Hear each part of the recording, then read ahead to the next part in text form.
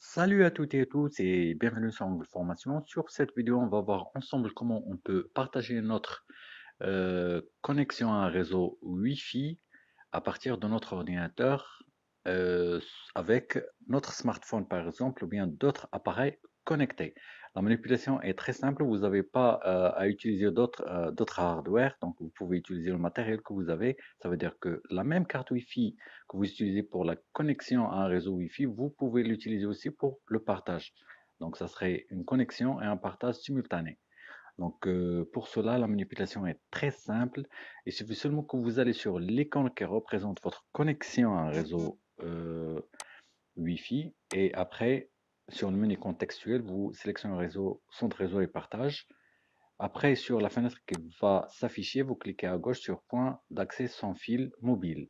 Et après, vous activez l'option.